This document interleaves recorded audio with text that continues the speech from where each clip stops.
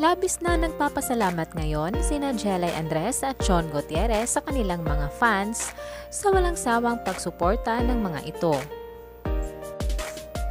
Kahit magkaiba na ngayon ang landas ng kanilang tinahak bilang dating magkarelasyon, ay hindi pa rin sila iniwan ng kanilang mga fans.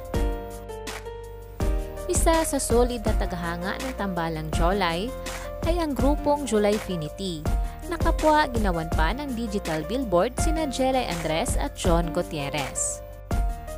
Tuwang-tuwa at kapwa nagpapasalamat naman sina Jelay at John sa ginawa na ito ng kanilang mga solid na tagahanga.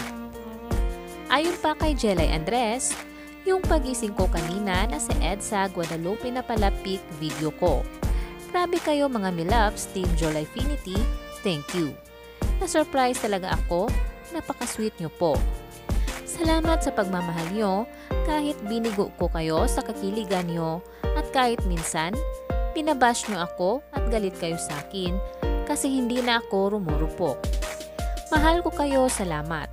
Ramdam ko pagmamahal yung totoo sa akin. Samantala ay niretweet naman ni John Gutierrez ang post ng admin ng grupong Julyfinity na si Macy Perez.